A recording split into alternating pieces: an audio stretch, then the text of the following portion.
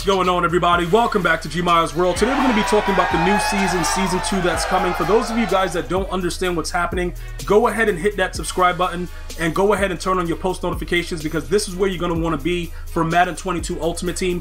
Um, pretty much what happened is this. When you first log in now they changed the original um, graphic that they had. This is the graphic that you get right now. This was the previous graphic that they had up yesterday. So what's happening is ea sports understands that they made a mistake. Right here it tells you to check back december 8th uh, this was something that they put up. I was like all right good. They got something. It's tied down. It's ready to go apparently there's been some issues with the way that it was going to be deployed and i have to give them credit. They're trying to make it so that it's not a lot of you know stress for us as the users of what they put out when it's released. They want to make sure that it's a better release so it, it's probably going to be delayed. All right just so you guys are aware of that.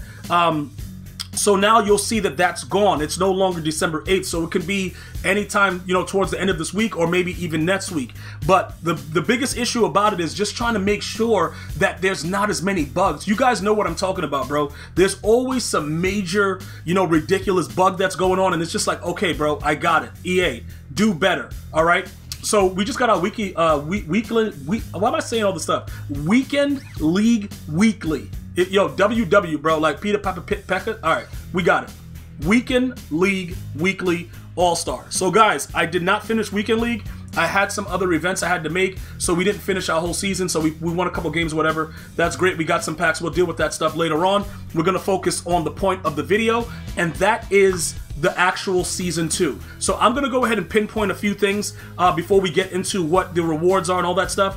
Let's take a look at Ultimate Season, right? So some of you guys were saying that the third quarter was going to expire once the season reset. I don't know if they should do that, but also they don't you they because this is season 2, we don't really know what the premise is. It makes no sense for me to 100% complete this right now because it's going to be useless for the XP. And also, the way that they're going to be giving out XP uh, for this season is kind of ridiculous as far as repeating solos. If you're the kind of guy that works like me when we do challenges, I do everything 100% complete. You're to get little to nothing after you repeat a challenge. You know, it goes down every single time. It's a lot of stuff that's going on technically with it. So you'll get a thousand XP if you get all five stars. Uh, if you get three, you'll get the remaining two when you go back and do the other two. But I always do fully max stars. So I'm to have an issue with the amount of challenges available to probably get the XP. So I'm trying to hold off and not do this because even if I go ahead and get some battle scores and solo battles and I get this additional XP, it won't benefit me right now anyway. So I'm just going to wait to see what EA does. If they do it where they leave it, we're going to have a head start. If not, we got to grind regardless. It is what it is. But there was an issue where they were saying that head-to-head gameplay against, you know, human opponents were giving out too much XP. And that's one of the reasons why they wanted to kind of, you know, slow it. It's a lot of stuff going on in the back end. But again, I much rather them give it to us when it works than for them to put it out and it not work. Now you guys are gonna be like, yo, but Gmia, we're in December and it's season two. I get that. But it still would be very, very frustrating for us if they put out something that just didn't work. So we just need to be patient with it. We've already waited till December. You know what I'm saying? It's not like another couple days are gonna make a difference if you think about it. So, you know, that's where we are right now. So now that we've discussed all that, I'm gonna go ahead and I'm gonna bring up what we what I was talking about as far as the rewards. Now, looking at this, you can see, you know, um, they highlighted the season champion and the collectible uh, at five, and they highlighted when you get the season collectibles. I'm going to show you the season uh, master that I care about, who was Taylor Mays, the Boselli guy, a tackle, like whatever he is. I, dude, I don't care about that. But Taylor Mays is what I'm going to be going after. And according to the way that the Devin Hester worked and Junior Seau, yes, they should get all team chemistries. So everybody will probably be able to get Taylor Mays on their theme team, and he would be a 98 speed if you have the strategy cards. All right, so as you go through everything, you guys can take a still, look at it, see what's happening.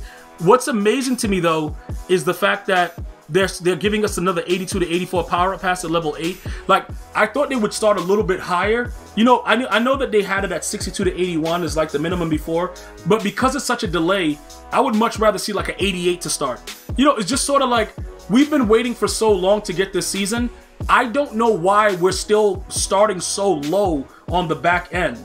It should be a lot more rewards because if you gauge it out, they're already probably planning for Madden 23. You know what I'm saying? Like this, this is already something that they're probably looking at. They probably started Madden 23 at the launch of 22. So why are we still getting those lower level power passes? It doesn't really make any sense. I would say an 88 would be a minimum. And not only that, because in the auction house, 88 overall cards are so cheap anyway. It's only a few of them, so why would you start? It, it's just tedious. Those type of things to me, if they wanted to make it like, all right, here goes something that you guys can work with, that you can enjoy, it would make sense for them to give us a higher power pass to start, so that way we could end off with a higher power pass at the end. Because it looks like the you know they give us at level 40 the 93 to the 93 to 94 uh, power pass. It's like okay, but we're in December though. But it makes sense because zero chill starts soon, and a lot of those cards are going to be 95s.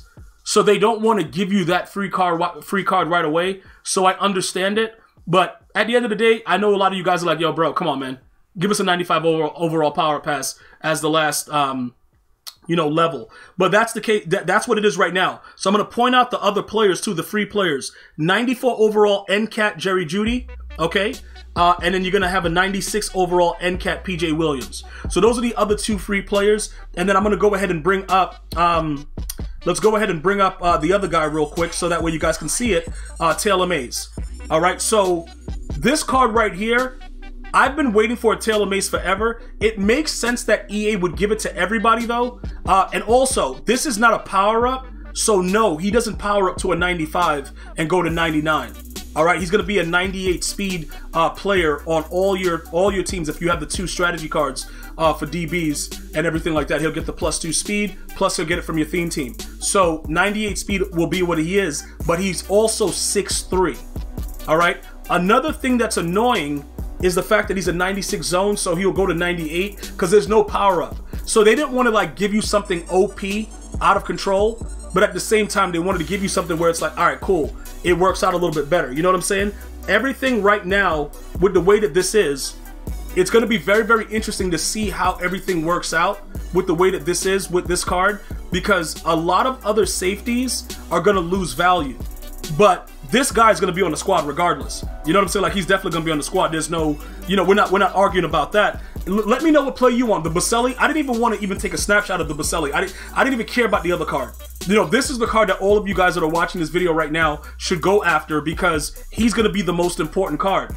And the reasoning behind that is there's a lot of safeties, but nobody really has the speed right now. And that's a major issue. So I wanted to make sure you guys saw that. Now, when we go back to uh, all the levels, that's pretty much, you know, you guys can go ahead and take a look at that. The uncommon strategy, the regular strategy, all that stuff. It's all miscellaneous stuff, but you do get some decent packs. All right. The elite pack that you get at 48, gridiron pack, you get like a fantasy, um, you get another one of those fantasy packs also. I'm trying to find it really quickly. You got the gold team fantasy pack, you got a pro, a pro fantasy pack. Um, I saw that they had like a, a, a Redux. I thought I saw that they had a Redux pack, but I'm not seeing it right now unless I'm just not really looking at it in the right spot. Pro Fantasy at level 7, Gold Team Fantasy Pack. You got a Gridiron at 14, um, 19 is 20k coin, rare, rare strategy item, uncommon strategy season collectible, Gridiron. Okay, that's that. That's that. Gold Team Fantasy Pack, 91 and 92 overall power pass, level 33. Pro Fantasy Pack 34, 36, 37 Gold Team, uh, Pro Fantasy Pack at 41, Gridiron Pack at 44, Uncommon Strategy at 47, Elite.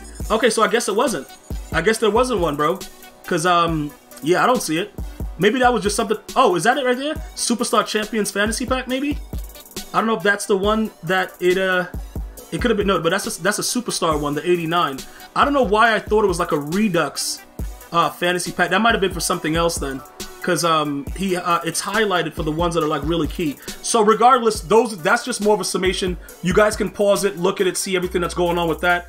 That's all good and well, and that's what you have to look for right now with the way everything else is going, and obviously the Taylor Mays. So Moving forward, just really quickly, because the Raiders theme team, all I'm really lacking is a better free safety. All of us that's watching this video know that we all hate Ronnie Lott because he's undersized, whatever. So once he gets that, once we get that 6'3 Taylor Mays, GG's. You know what I'm saying? Like, look, look guys, GG's. So that's what I'm looking to do.